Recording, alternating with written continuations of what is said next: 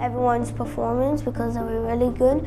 And for me, I enjoyed my performance because before I, there was some difficulties and now I know how to fix the problems.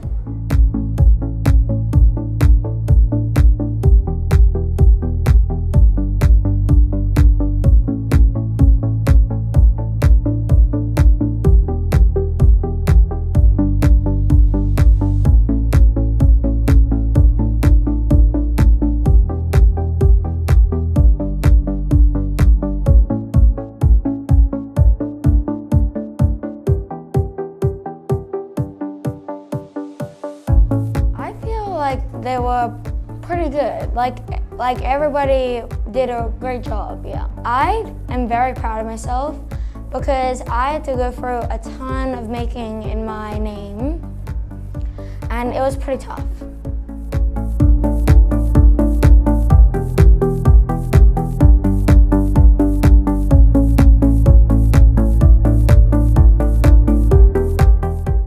I want to create a game where I can actually have 3D graphics. I like Wesley's presentation because he explained everything in uh, detail.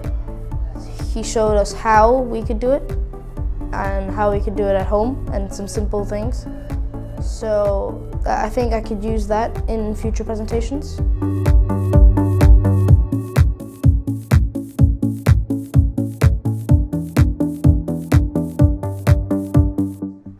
Like I can really make anything. That's what I think.